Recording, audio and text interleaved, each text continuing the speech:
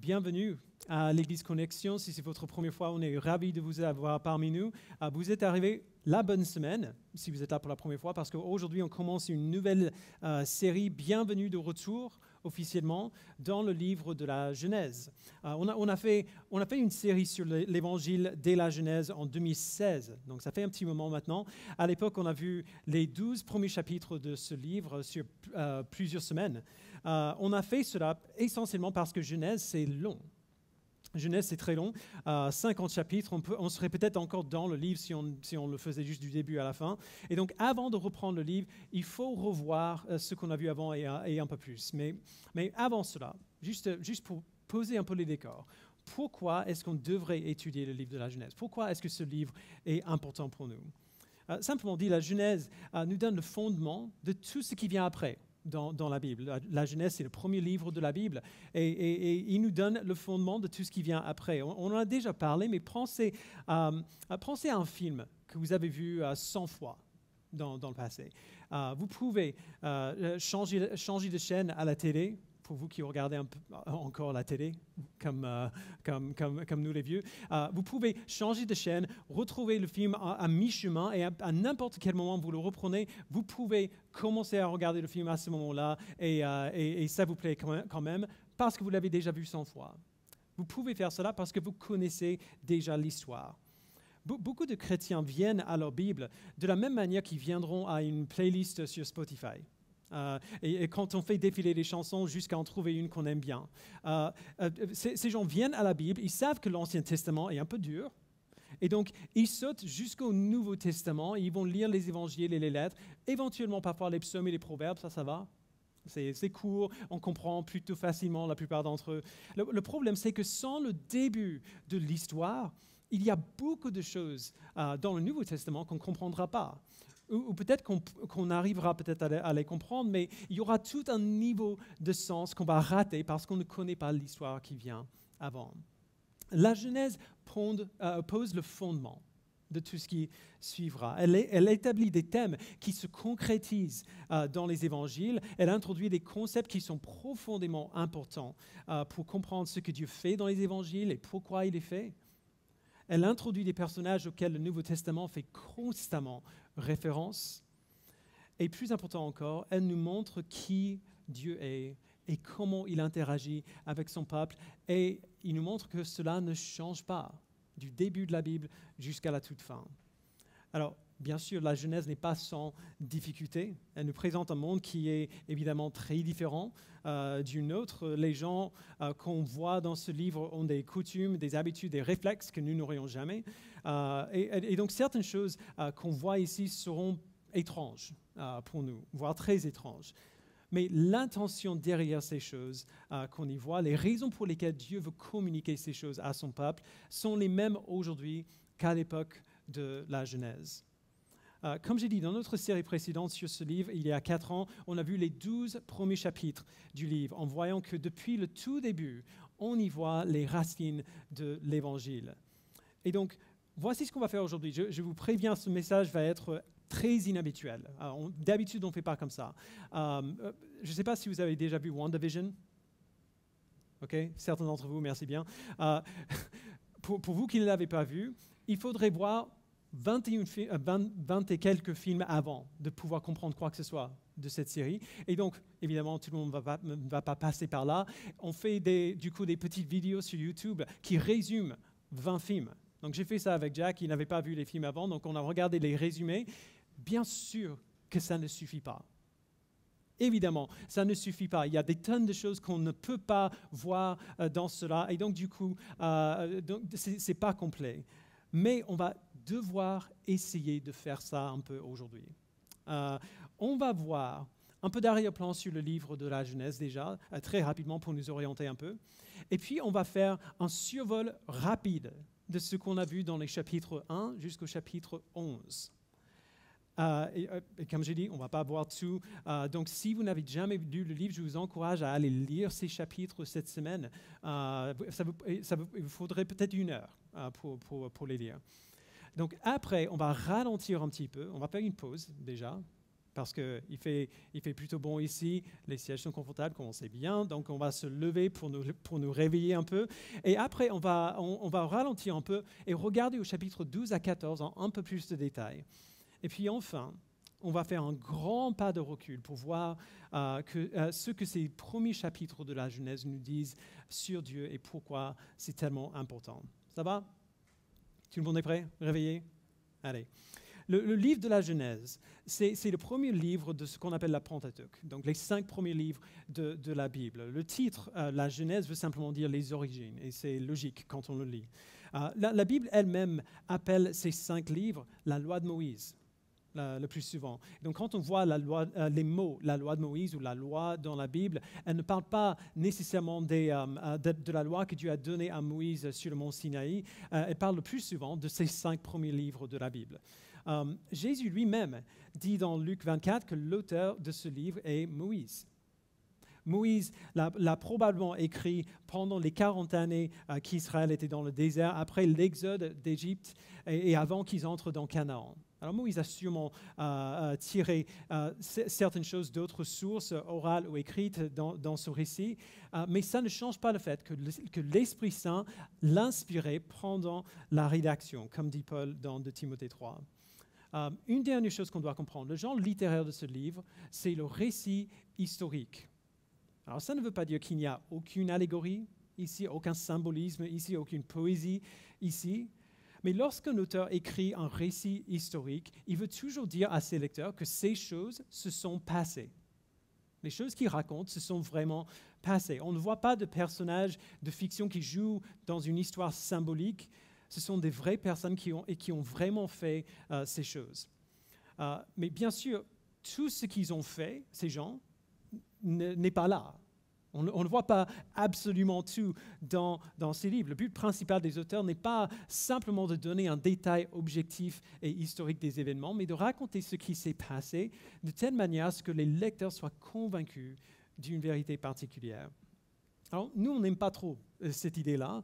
Euh, ça nous semble un peu trop. Euh, ben, on, dirait que ça s'approche un peu trop de la propagande, pour nous, mais on est naïf quand même si on imagine que la même chose ne se passe pas aujourd'hui. Dans tous les récits historiques, modernes ou anciens, l'auteur fait des choix. Il fait des choix sur ce qu'il va inclure et sur ce qu'il va exclure, parce que c'est impossible de tout dire, bien sûr. Et quand les auteurs font des choix, ils le font pour une raison. Euh, ils essaient de convaincre leur lecteur d'un argument ou d'une vérité spécifique. Ça ne veut, pas dire que ce qu'ils disent c'est faux, ça veut juste dire qu'ils ont un but.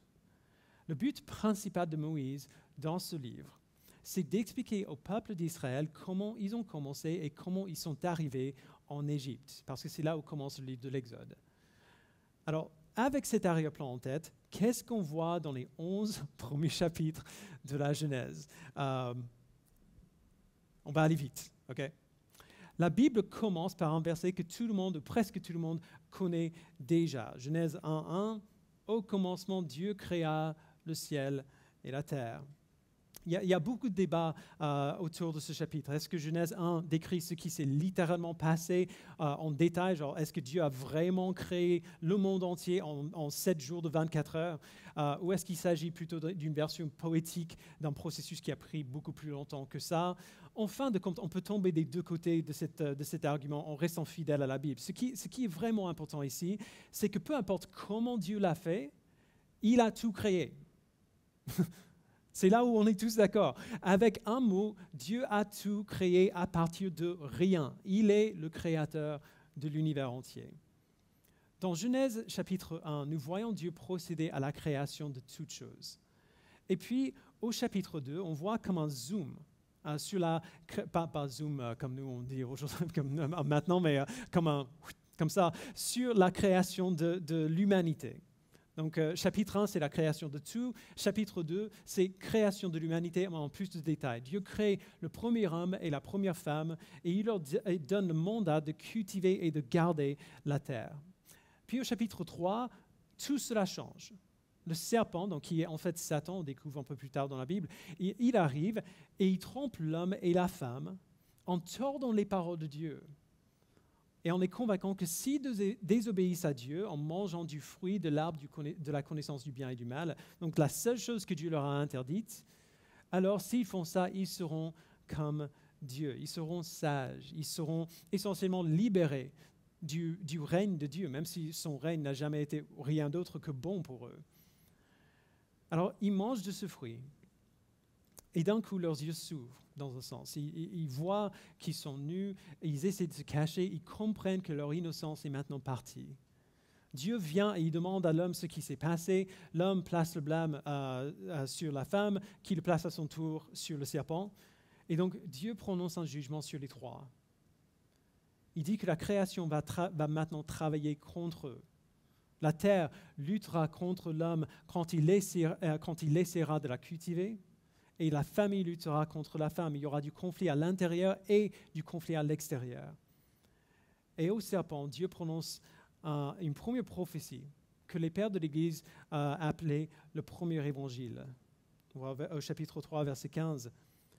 Dieu dit, je mettrai l'hostilité entre toi, euh, Satan, et la femme, entre ta descendance et sa descendance. Celle-ci t'écrasera la tête et tu lui blesseras le talon.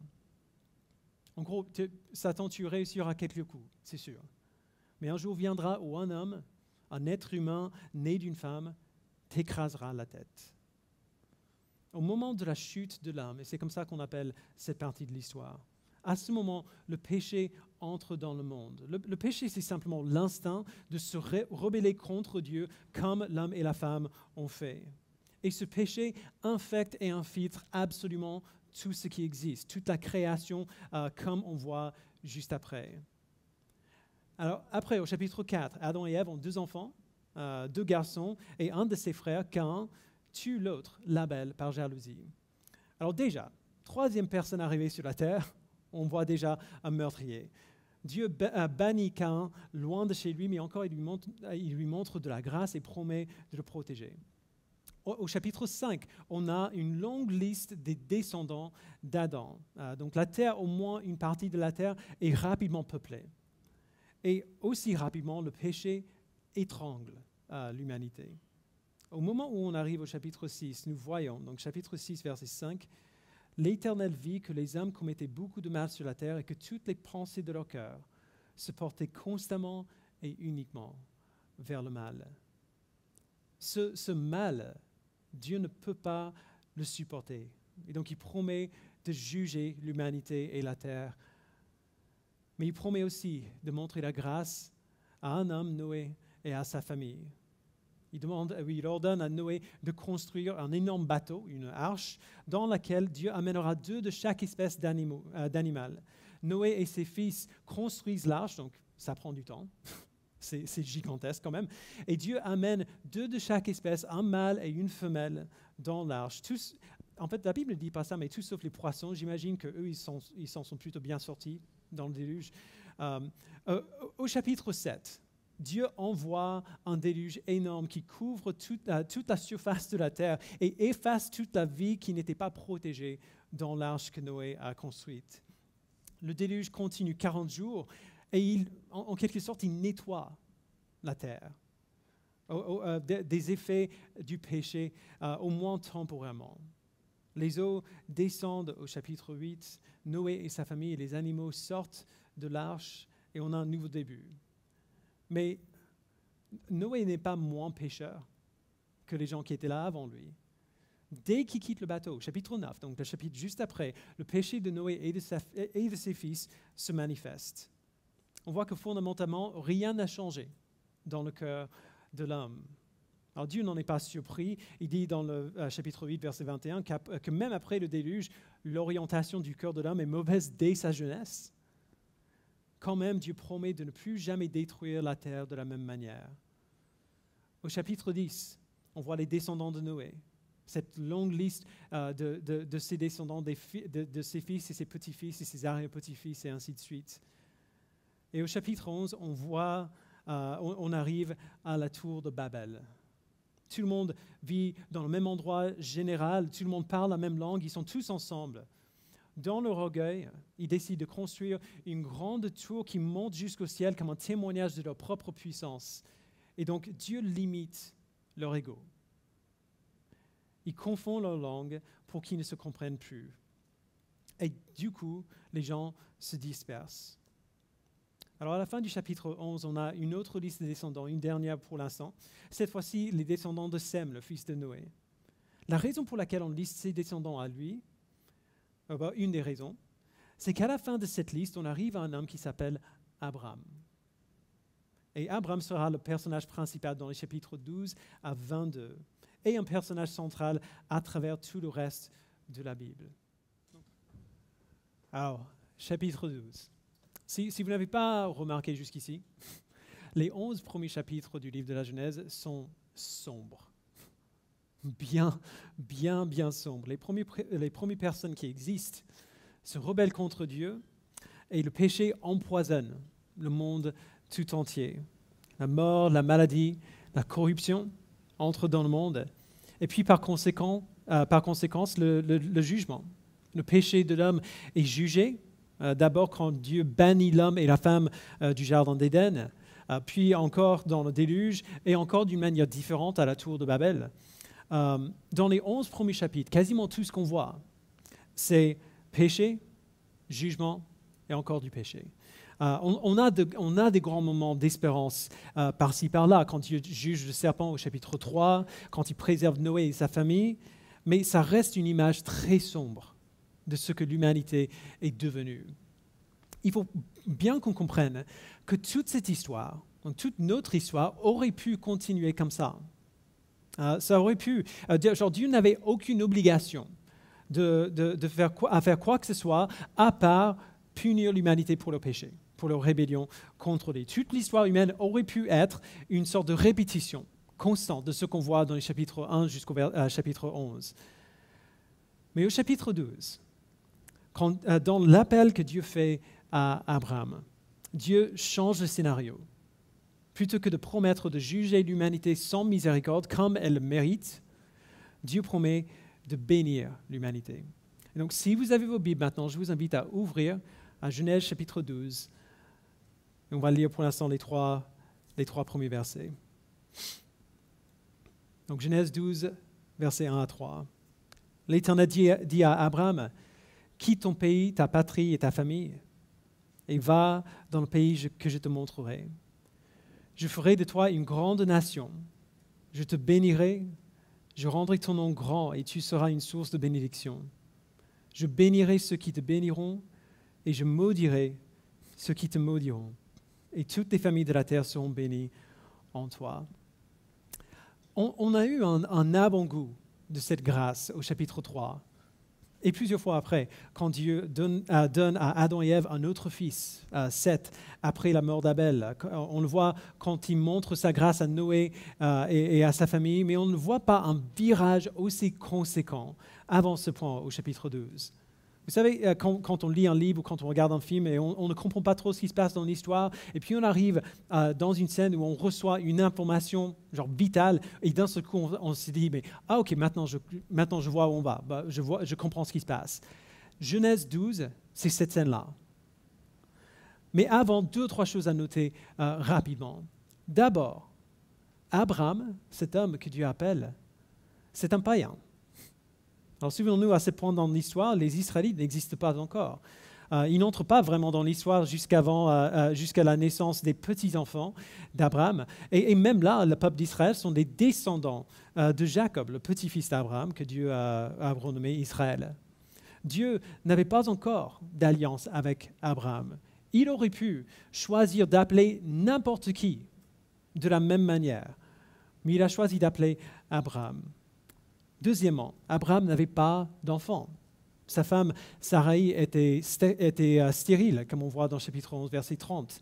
Euh, ça aurait été catastrophique pour, euh, pour une famille à l'époque, particulièrement pour une femme. dans, dans, le monde, dans, le monde, ancien, c'était une source de grande honte.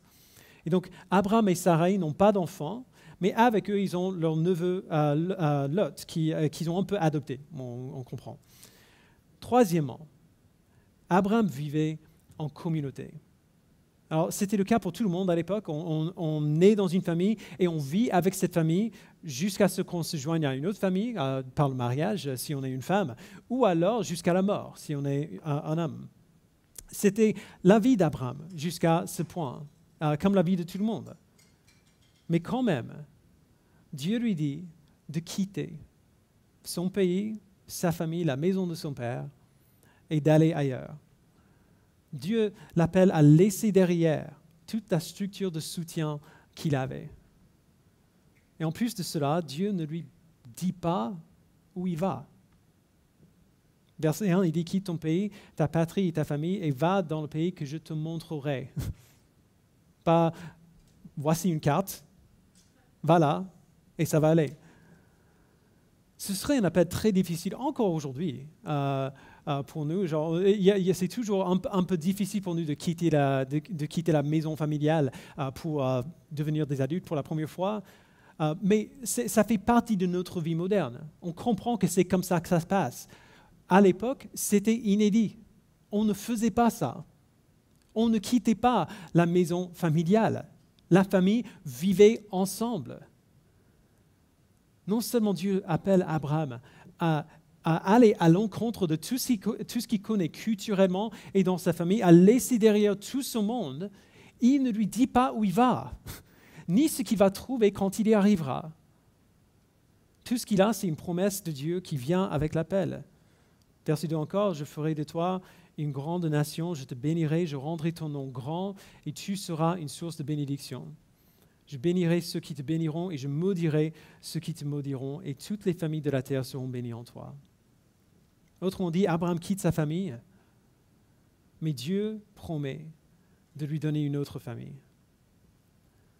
Alors Abraham fait ce que Dieu lui dit de faire. Il quitte sa famille à Charan, il prend Sarai et Lot et leurs possessions et leurs serviteurs, ils se mettent en marche vers Canaan. Quand ils arrivent à un endroit euh, précis, donc Sichem, près des chaînes de Morée, il dit, Dieu dit à Abraham de regarder tout autour de lui et, et il lui dit, dans le verset 7, c'est à ta descendance que je donnerai ce pays.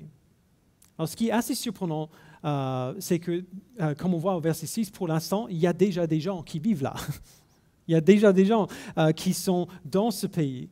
Et que, encore une fois, Sarai est stérile. Comment, comment est-ce qu'il va y avoir une descendance si elle ne peut pas avoir d'enfant? Alors, il y a beaucoup d'inconnus ici. On ne sait toujours pas comment Dieu va accomplir ce qu'il dit. Mais Abraham fait confiance à la promesse, il continue, et à un certain point, il s'arrête et il bâtit un hôtel pour louer euh, le Seigneur. Euh, ensuite, après les neuf premiers versets du chapitre 12, en fait, dans ces neuf premiers versets, on voit une, euh, image assez favorable d'Abraham. On, on, lit ces neuf premiers versets où Dieu lui demande de faire cette chose que, que, personne d'autre ne, faisait, et que nous aurions du mal à faire si on était à sa place. Genre, on a du mal à imaginer combien c'était difficile. Et donc, il, serait facile de, commencer à idéaliser Abraham à, ce point, comme, un homme de foi incroyable qui n'a peur de rien, qui est euh, prêt à faire tout ce que Dieu dit. Et c'est souvent comme ça qu'on présente Abraham dans les églises. Mais dans la deuxième moitié du chapitre 12, on est désabusé de cette idée et vite. Euh, il y a une famine dans le pays et donc Abraham amène sa famille en Égypte où il y a de la nourriture. Il réalise qu'il a peut-être euh, a peut-être fait une erreur en, faisant comme ça parce que Sarai est, belle apparemment et les Égyptiens qui étaient apparemment assez brutaux euh, à, l'époque comme tout le monde risquent de tuer Abraham pour prendre Sarai. Et donc Abraham et Sarai décident de mentir et dire que Sarai c'est la sœur d'Abraham. Et ce qui, se passe après est juste incroyable. Quelqu'un dit au pharaon, donc le roi d'Égypte, que Sarai est très belle. Et donc, le pharaon la prend pour femme. Il l'amène chez lui comme son épouse. Alors, Abraham, euh, euh, du coup, est genre un, des pires maris du monde entier. À mon sens, c'est dur, mais euh, ce qui vit, mais quand même, si, on voit ça venir, on s'en va, on dit la vérité et on prend le risque. que, bref, on ne va pas aller euh, dans, ces détails-là. Quand même, Dieu montre clairement que lorsqu'il décide d'utiliser quelqu'un pour ses buts, il s'assurera que son plan n'est pas déraillé. Il envoie des fléaux euh, sur le pharaon et sur sa famille jusqu'à ce qu'on voit ce qui se passe, qu'on comprenne en fait que euh, c'est la femme d'Abraham et Abraham est apparemment protégé par, par, une, par, une puissance divine. Donc le pharaon rend Sarai à Abraham et il les renvoie. Alors au chapitre 13, Abraham et sa famille rentrent où ils étaient avant, là où il avait bâti l'autel. Et là, Abraham commence à s'enraciner. Il dit à Lot de décider où il veut s'établir lui-même. Lot regarde autour, il voit que là-bas, c'est très beau, donc je vais prendre ça. Euh, et donc il emménage à Sodome. Euh, qui, n'est pas loin. On voit au verset 13 un petit indice de ce qui viendra après. Euh, les habitants de Sodome étaient mauvais et péchaient beaucoup contre l'Éternel. À la fin du chapitre 13, Dieu réitère sa promesse précédente à Abraham. Donc au verset 14, il dit, L'Éternel dit à Abraham, après que Lot se fut séparé de lui, Lève les yeux et de l'endroit où tu es, regarde vers le nord et le sud, vers l'est et l'ouest. En effet, tout le pays que tu vois, je te le donnerai à toi, ainsi qu'à ta descendance pour toujours. Je rendrai ta descendance pareille à la poussière de la terre, de sorte que si quelqu'un peut compter la poussière de la terre, ta descendance aussi sera comptée. Lève-toi et parcours le pays dans sa longueur et dans sa largeur, car je te le donnerai. Abraham déplaça ses tentes et vint habiter parmi les chaînes de Mamré qui sont près d'Hébron. Là, il construisit un, euh, hôtel en l'honneur de l'Éternel. Encore une fois, cette promesse est juste incroyable. Dieu ne parle pas dans des termes vagues ici. Il parle de donner ce pays à la descendance d'Abraham, alors qu'Abraham est vieux et sa femme est stérile. Avant, ça aurait été possible peut-être d'imaginer que Dieu allait accomplir sa promesse euh, euh, à travers Lot, mais clairement, ce n'est pas ça que Dieu a en tête. Alors à ce point, au chapitre 14, on voit un épisode juste hallucinant que j'adorais quand j'étais jeune. Euh, en gros, Abraham devient Rambo. Vraiment. Genre. Bref, il y a une guerre entre le, roi de Sodome, où vit Lot, et. Euh, pardon. Il y a une guerre entre, euh, entre le roi de Sodome, où vit Lot, et plusieurs autres rois. Euh, quatre rois contre cinq. Sodome est vaincu, Lot est pris en prisonnier. Quelqu'un arrive à s'échapper. Il dit à Abraham que son neveu est maintenant prisonnier de guerre. Alors Abraham rassemble 300 hommes qui ont été formés au combat, et avec ces 300 hommes, il arrive à battre les ennemis qui ont vaincu sur Sodome, donc des armées. avec 300 hommes, euh, il les vainc tous. Tous les prisonniers, y compris Lot, sont relâchés. Alors évidemment, c'est un témoignage euh, incroyable de la puissance de Dieu pour protéger son peuple, et j'aimerais beaucoup rester ici plus longtemps, mais il y a quelque chose de plus important euh, qu'on a besoin de voir. Dans les versets 17 à 24, du chapitre 14, nous voyons deux rois répondre à la victoire d'Abraham. Le roi de Sodome demande assez froidement qu'Abraham euh, ne garde pas des prisonniers pour lui-même et qu'il les libère. Abraham dit qu'en fait, il n'avait pas l'intention de les garder pour lui-même ou quoi que ce soit. L'autre roi est un roi qui s'appelle Melchizedek. Contrairement au roi de Sodome, Melchizedek donne un festin en l'honneur d'Abraham. Il remercie Dieu d'avoir délivré euh, ses ennemis entre sa main et Abraham lui donne un dixième de tout. La raison pour laquelle ces deux rois sont contrastés ainsi, c'est parce qu'ils manifestent les deux types de réactions au peuple de Dieu qu'on voit prédit dans le chapitre 12, verset 3. Quand Dieu dit, je bénirai ceux qui te béniront et je maudirai ceux qui te maudiront. Le roi de Sodome ne reçoit rien d'autre de ce qui, euh, que ce qui vient de perdre. Et si on sait ce qui arrivera plus tard à Sodome, qu'on va voir dans quelques semaines, on sait que la malédiction prédite, euh, prédite au chapitre 12 arrive. Pas seulement pour cette raison-là, mais elle arrive. Melchizedek, quant à lui, il bénit Abraham. Et il se voit béni en retour. On voit, on voit plus jamais Melchizedek dans le livre de la Genèse. Mais l'auteur de la lettre aux Hébreux, décrit Melchizedek comme un type. Euh, euh, quand on voit ce mot type, euh, on parle d'une sorte de reflet en amont.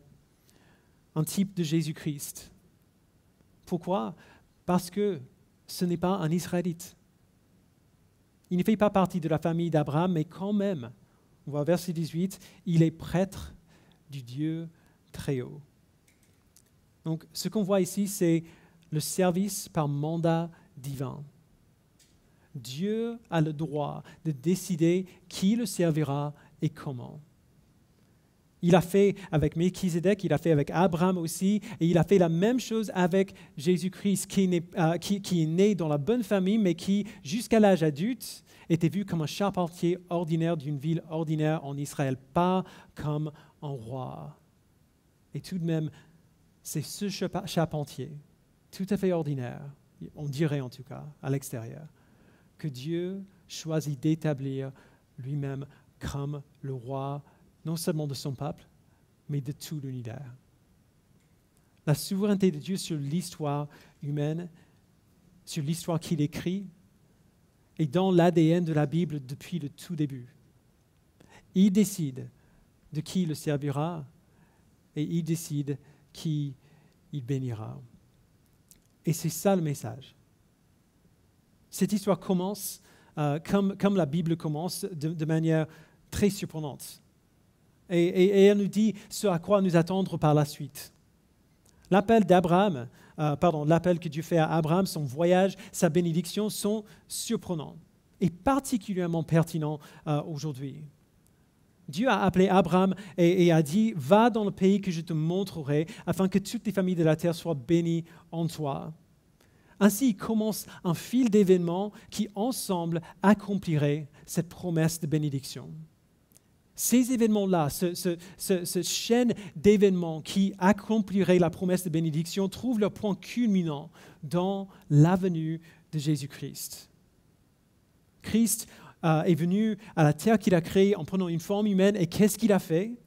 Il prend la promesse de bénédiction que Dieu a donnée à Abraham et il l'applique. Il apporte la bénédiction promise à Abraham avec lui. Et il le fait de manière très étrange. En fait, tout ce qu'on voit euh, ici et plus tard met en lumière les moyens étranges dont Dieu se sert pour accomplir son plan. Qu'est-ce qu'on voit? On voit Dieu qui crée le monde, qui bénit le monde qu'il a créé, et puis on voit ce monde tomber dans le chaos à cause du péché. On voit le premier meurtre, et puis la grâce qui est donnée au meurtrier. On voit le jugement de Dieu contre le péché dans le déluge, et puis le renouvellement de la création, quand Dieu fait descendre les eaux et préserve les vies de Noé et sa famille, et ainsi toute l'humanité qui viendra après. Nous voyons encore le jugement contre le péché à Babel, quand Dieu confond la langue des peuples. Et on voit, et on verra plutôt, le renversement de ce jugement plus tard, bien plus tard, dans Acte 2, quand l'Esprit descend sur les apôtres et leur donne la capacité de proclamer l'Évangile dans des langues des étrangers qui les entourent. Nous voyons Abraham partir d'un pays inconnu pour un lieu inconnu, pour une raison inconnue. Les contemporains de Moïse auraient, euh, su euh, quel est ce pays, quelle est cette raison, parce qu'ils étaient là, genre ils venaient là aussi, c'était euh, là où ils ont, vont aussi. Mais Abraham, à ce moment-là, ne le savait pas. On voit la promesse de Dieu de bénir toute la terre par la descendance d'un vieillard et de sa femme stérile. On voit Abraham béni par Melchizedek, qui est par tout standard normal un roi païen, mais qui est quand même prêtre du Dieu très haut. D'un point de vue extérieur, rien de tout ça n'a du sens. Il n'y a aucun sens ici. Par eux-mêmes, les gens qui vivaient ces histoires n'auraient jamais regardé à leur propre vie euh, euh, et, ils n'auraient jamais pu se dire après, en regardant à leur propre vie, OK, d'accord, je vois ce que Dieu fait là ce schéma de Dieu qui se sert des moyens inattendus pour accomplir ses promesses et ses plans continue tout le long de l'Ancien Testament. Par les juges, par les rois, par le roi David, la division du royaume, l'exil du peuple et leur occupation par des ennemis étrangers. Et le schéma continue aussi dans le Nouveau Testament, quand on voit Jésus-Christ arriver sur scène. On n'a pas encore dit, mais aujourd'hui, c'est quel jour? Aujourd'hui, c'est le dimanche des rameaux de quoi est-ce qu'on se souvient ce jour?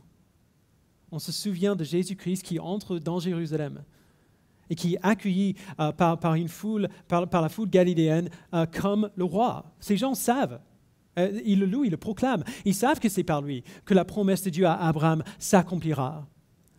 Et, lui aussi amène la bénédiction d'une manière inattendue.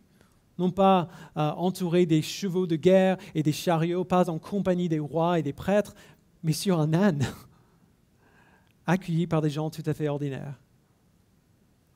Et puis, très peu de temps après, Jésus est livré à une autre foule, non pas pour être loué comme, Dieu et célébré comme roi, mais pour être crucifié comme un criminel à la place de son peuple. Dieu accomplit son plan comme il le veut. Il accomplit son plan de manière parfaite et son plan est rarement ce à quoi on s'attend. Dieu ne se sert pas des meilleures personnes pour accomplir ses plans, il se sert des gens faibles et pécheurs comme Noé, comme Abraham. Et il les habilite pour son service afin d'accomplir son plan et respecter ses promesses. J'ai dit tout à l'heure que le but de Moïse en écrivant le livre de la Genèse, c'était de répondre à, la question de comment le peuple d'Israël euh, sont arrivés en Égypte. C'est son but pour le livre entier.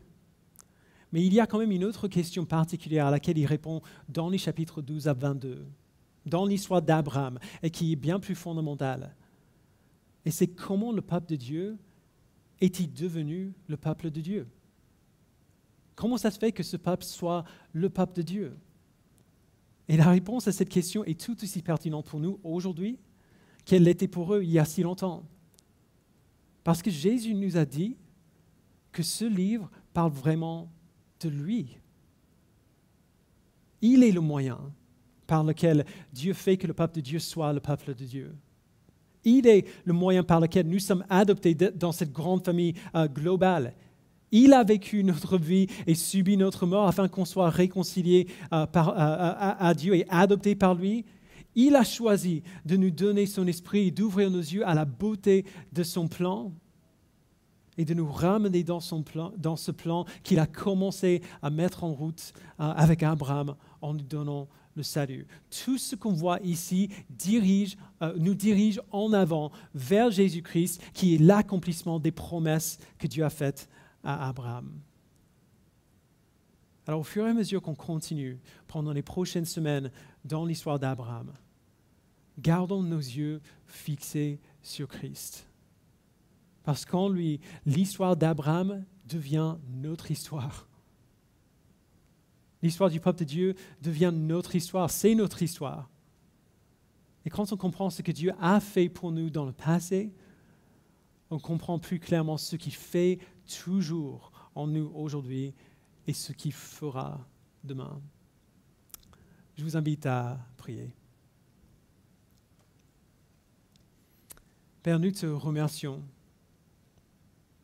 pour la promesse que tu as faite à Abraham, que tu as accomplie dans la personne de Christ, et que tu appliques à nous, ton peuple, adopté encore aujourd'hui. Merci Père pour cette euh, vérité que nous voyons et que nous célébrons, que tous les jours, de plus en plus de personnes dans ce monde qui ont besoin de toi viennent à te connaître. Et ainsi, la descendance spirituelle d'Abraham est une bénédiction pour la terre entière. Merci Père d'accomplir ta promesse en rassemblant autour de toi des gens de toute langue, de toute nation, de toute tribu, de toute patrie, et en faisant de nous une grande nation globale, ta nation, ton peuple, ton royaume. Donne-nous, Père, de garder nos yeux bien ouverts quand on regarde à l'histoire d'Abraham, qui est notre ancêtre aussi. Donne-nous d'être émerveillés par la complexité incroyable de ton plan que tu accomplis si facilement par ta grande puissance. Au nom de ton Fils, nous le prions. Amen.